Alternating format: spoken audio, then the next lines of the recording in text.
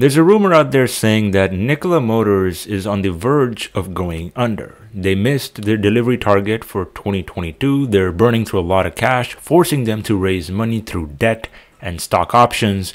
And they have a lot of hurdles to overcome when it comes to manufacturing and gaining customers in 2023.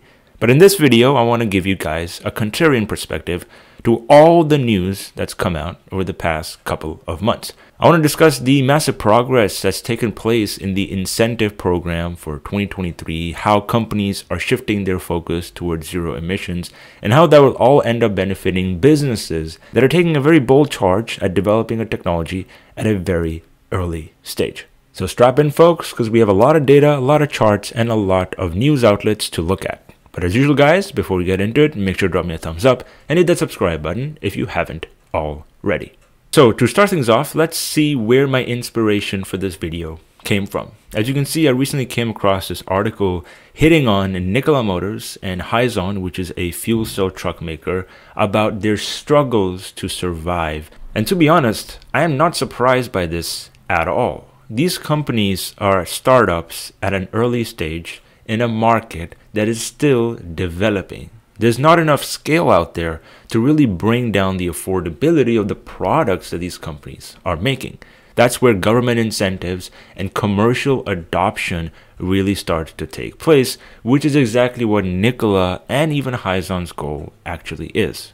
And what exactly do I mean by that? Well, I mean pilot tests, raising awareness about the technology, and making sure there's an end to end solution for meeting customer needs. Just like with the consumer electric vehicle business, you need to make sure that customers don't need to completely change their operations by switching to an electric platform. And right now, it is actually extremely difficult for most companies to do that, which is exactly why global battery electric truck sales are still struggling. Now, granted, when I say the word struggling, I mean that in a very lenient way. These companies are still selling their trucks to dealers at a record pace. It's just that the rate of adoption is not as fast as many people were hoping. And to those folks, I raise one simple question.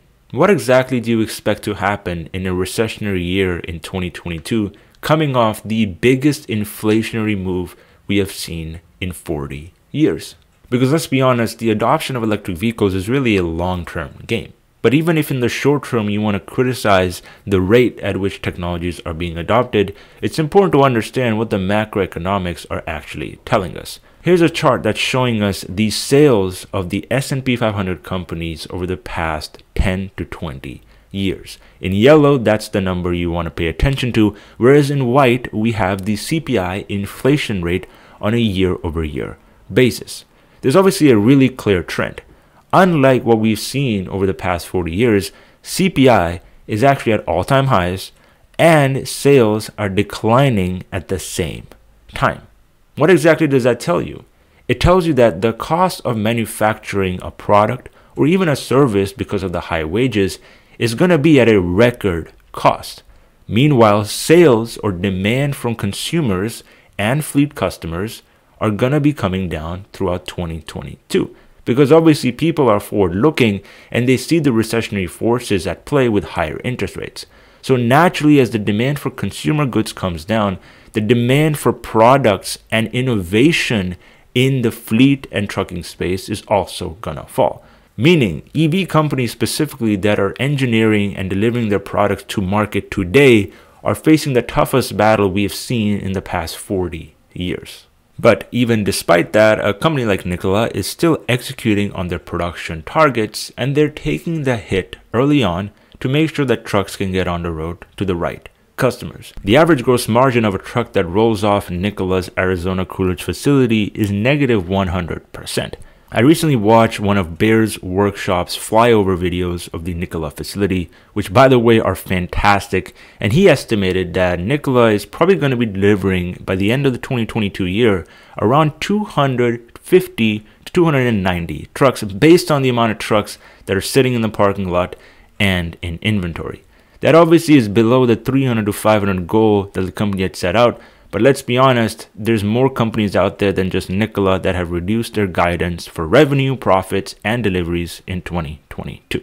But what really is instilling the confidence in me for the overall trucking space and the electrification race is fleets and logistics companies like PGT Trucking here actually adopting these trucks at an early stage, even if it had not been a part of their plan for the fiscal year. This company actually has an LOI to purchase around 100 fuel cell trucks from Nikola in 2023.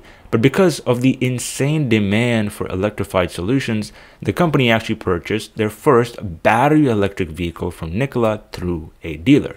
This was obviously not planned by the company, and because the cost of this vehicle is so high, especially without incentives, it's really interesting to see that they value reducing emissions, raising awareness more than taking a short term hit on their expenses. And so now, if a company that is the leading flatbed provider in North America is setting a sustainability goal by 2025 to reduce their fleet emissions by 35%, what will happen with all the other hundreds of fleets and logistics companies in the country? Will they follow suit or will they just continue running their natural gas and diesel burners, which are actually closer to inducing cancer to average consumers than reducing emissions? And the best part is that this isn't just being done by transportation companies. The LAX airport in Los Angeles just took delivery of their first Nikola Tre, which is their first heavy duty electric truck. It's either Nikola doing a really good job at marketing the value proposition of the vehicle, or it's all about the insane sustainability targets companies are starting to set, which, in my opinion, is foreshadowing what we can expect to see to happen in the US by 2030. Out of the almost seven dozen vehicles on order in LAX's electrification fleet, Nikola actually happens to be the first company to deliver their actual vehicle. This, in my opinion, really sets into perspective the first mover advantage that companies have, especially the ones that are proactive with working with connected dealer networks and incentive programs instead of focusing on a very difficult direct to consumer play. Nikola is undoubtedly the only company that is right now working with actual dealers to sell a purpose built electrified vehicle along with a charging solution that can allow companies to offset insane charging investments in the short term. Believe it or not, Nikola's mobile charging trailer actually makes a lot of sense. It's not really a marketing stunt because it allows companies to offset insane permitting and landscaping requirements to build an EV charging portal. It's obviously extremely difficult for companies to even get the cash to buy a 100 or to 200 kilowatt charging system, which obviously is critical for a battery technology that takes north of 2 to 3 hours to charge on a traditional 75 system.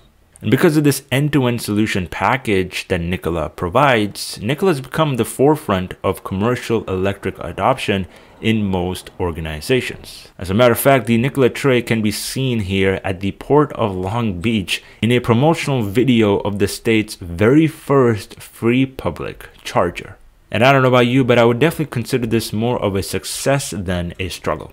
And unlike most of these vehicles from Freightliner, Kenworth, and Peterbilt, the Nikola Tre is a purpose-built platform, meaning they can squeeze out more efficiency and it can allow them to develop the longer range hydrogen fuel cell version in 2023. That commonality in the platform actually allows a company to scale easier and also make sure there's more manufacturing efficiencies on the production line. And I think that's a very important advantage that a company like Nikola has in this space, which again for me is not really counted as a struggling product. The Tre is actually in the hands of dealers and customers, unlike most of these other Class 8 trucks, which are currently in testing, prototyping, and trial stages, which obviously Nikola has already surpassed.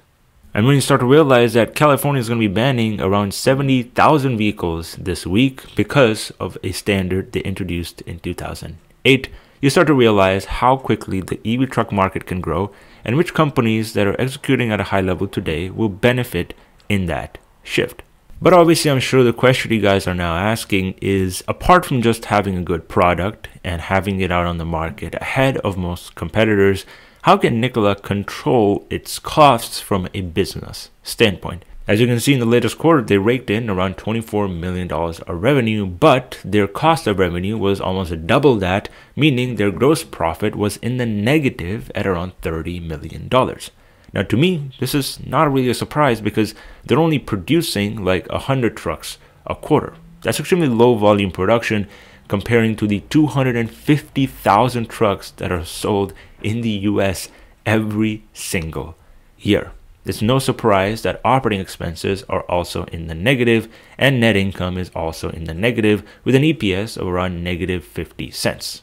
And as you can see, this results in a quarterly cash burn of around $125 million on average in a quarter when they're not necessarily raising money. And if you take the current cash position of around $403 million and potentially even add the total current assets, you can get a good estimate of the quarterly cash runaway that the company has of around 3.8 quarters. But believe it or not, most companies on the NASDAQ actually trade with a similar cash runaway. The timeline of how much cash you have left is not indicative of what the business can do because there's obviously something called raising money and reducing costs, which is exactly what 2023 is going to be about. As you can see, despite the stock market being down from its latest peak and the stock itself for Nikola being at all-time lows, the company was able to raise cash by selling up to $125 million in its senior convertible note. Now, this is essentially debt that's added onto the balance sheet, so it doesn't necessarily help the company in the long term, but it is the right way to approach fundraising for the short term to avoid a liquidity crunch. Now, the really unfortunate thing here is that if this recessionary phase of the market continues into 23 and interest rates are raw, and interest rates are risen again like 2 to 3%, then the chances of Nikola surviving are going to be pretty low. In that case, there's a lot of options a company could follow. It could be a Chapter 11 restructuring, which is a bankruptcy, or the company could get bought out in an all-stock transaction by Iveco and CNH Industrial. In all those cases, the valuation of the company will be a lot higher than it is right now on the open market, but overall, that would kind of be the next path the company could follow. And for those of you that are asking what exactly is a liquidity crunch, it is essentially when the company has more debt in the 12 months from the current quarter then they have cash for those 12 months. As of right now, Nikola does not have a liquidity crisis because they have total current assets of around 486 and total current liabilities of 277. And no, these concepts don't just apply to Nikola, they can apply to any company in the stock market. And I really recommend that you guys follow a similar structure of analyzing the income, balance sheet, and cash flow statements for a company. This current stock market environment is not going to last forever, and chances are that businesses are going to come out stronger than they had going into this recession. But overall, it's still a really interesting time to be an investor and a follower of the overall decarbonization race, which is exactly why I hope you enjoyed watching this video. And since this was obviously just my opinion, let me know your thoughts down in the comment section below.